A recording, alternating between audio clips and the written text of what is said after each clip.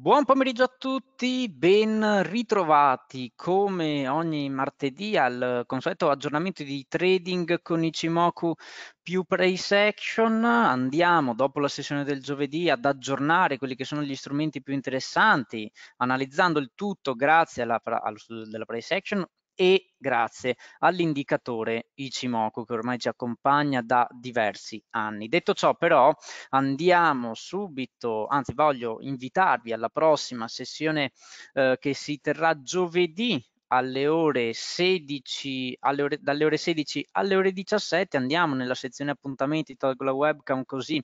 vedete meglio lo schermo, eccola qui, sessione sempre a pagamento, però insomma aperta a tutti gli interessati, potete già iscrivervi qui in basso. Bene, ricordo invece che per chi vuole capire che cosa facciamo all'interno di queste sessioni di Cimoku più Price Action, basta andare nella, nella uh, sezione servizi, selezionare questo servizio, quindi le sessioni del giovedì, e qui sotto trovate una uh, sessione completa di trading, chiaramente andando ad analizzare il tutto con gli strumenti appena elencati. Detto ciò, andiamo subito sulla piattaforma del broker, quindi su Kimura Trading, per capire quali sono gli argomenti che affronteremo quest'oggi. Da, partiamo dalle criptovalute. Allora, noi siamo già posizionati long da un bel po' su Bitcoin, su Ethereum, però quello che voglio fare oggi è analizzare la situazione anche grazie all'indicatore. Allora, Uh, a livello tecnico è chiaro che la tendenza insomma è rialzista, i minimi sono via via crescenti e la resistenza chiave è stata rotta al rialzo, questo l'abbiamo già visto in precedenza. Cosa ci dice anche l'indicatore Cimoku inoltre? Ci indica che eh, l'acumo, quindi la nuvola, è passata da discendente ad ascendente, quindi dal colore rosso eh, siamo andati al colore verde, quindi eh, anche questa è un'avvisaglia che il trend di fondo sta cambiando, insieme anche alla linea Tenkan, che è la rossa, è passata al di sopra della Kijun, che è la linea blu, quindi anche questo è sintomo di tendenza rialzista, come chiaramente si può notare dai prezzi e la rottura della resistenza chiave ha chiaramente portato al di sopra anche la linea Kiko che non è altro che la linea del prezzo solo che traslata 26 periodi in, uh, indietro. Quindi abbiamo delle eh, insomma abbiamo una tendenza palesemente rialzista siamo usciti dall'accumulo e direi che siamo all'interno del nuovo trend rialzista, sia per quanto riguarda Bitcoin, sia per quanto riguarda Ethereum. E sempre grazie all'indicatore Ichimoku possiamo andare ad individuare quelli che sono dei livelli chiave a cui dovremo sicuramente prestare attenzione qualora insomma i prezzi arriveranno a testare quelle zone. Infatti, ne avevamo già parlato anche in qualche tempo fa, occhio perché a 50, io avevo oh, nominato 54.000 come livello, però se vedete qui Ecco qui questa fascia che va da 53 a 54 mila, qui troviamo, vedete, la parte, uh, l'acumo piatta, la parte piatta della nuvola di Ichimoku, che come sappiamo può fungere da supporto o resistenza, in questo caso da resistenza. Quindi l'obiettivo rialzista si trova lì. Prima però di raggiungere quell'obiettivo, ricordo, e questo l'abbiamo detto anche ieri, eh, che, che eh, c'è un altro obiettivo in area 51 mila dollari. Bene per quanto riguarda anche Ethereum,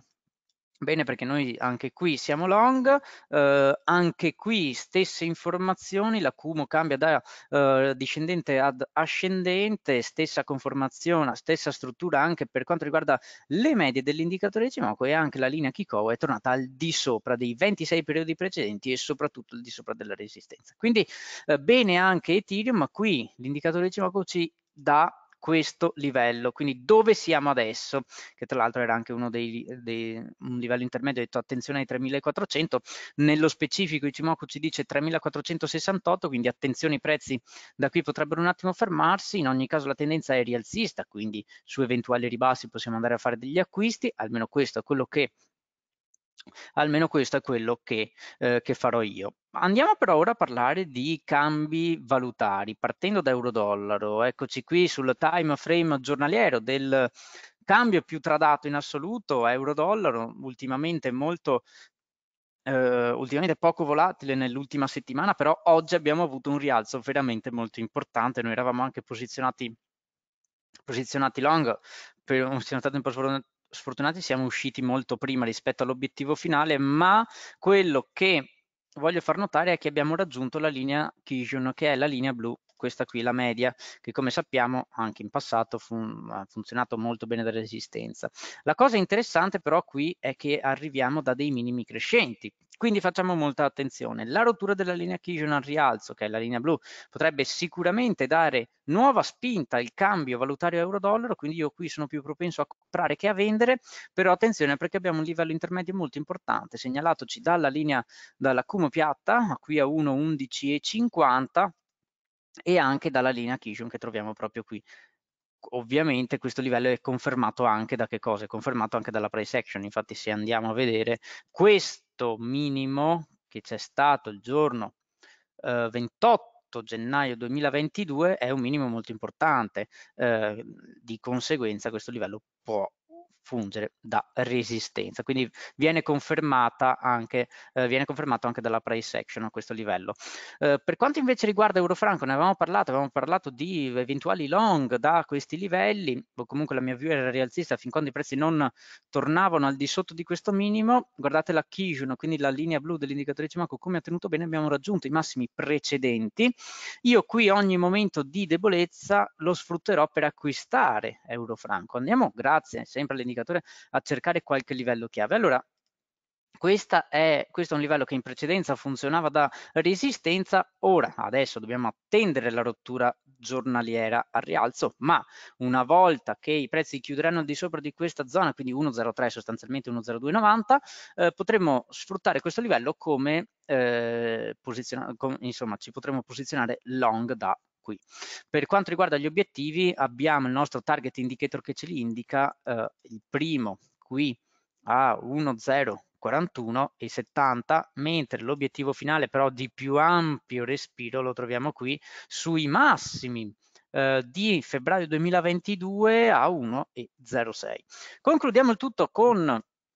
il cambio valutario NZD USD che sembra essere l'unico abbastanza lineare, un trend abbastanza lineare, eh, rialzista. Chiaramente come possiamo vedere massimi e minimi via via crescenti, molto interessante quello che è il test odierno, test dei, della zona dei minimi del 22-3 2022. Lo vedete questo, questa zona di minimi qui è molto importante perché questa è stata una seduta contraddistinta da copiosi acquisti eh, e questa candela ha creato una zona supportiva molto importante che proprio oggi è stata testata. Quindi attendiamo la chiusura di quest'oggi e successivamente, a mio avviso, possiamo provare un long con un obiettivo in area 0,71. Eccoci qui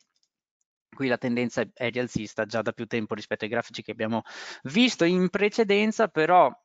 in questo periodo un po' particolare preferisco attendere la chiusura daily prima di posizionarmi eh, long, soprattutto in ottica multi-day, perché qui stiamo parlando sempre di time frame giornaliero su tutti i grafici che abbiamo visto e di conseguenza, insomma, serve attendere un po' più di conferme rispetto al solito. Bene ragazzi, direi che per oggi noi abbiamo visto tutto, io vi aspetto giovedì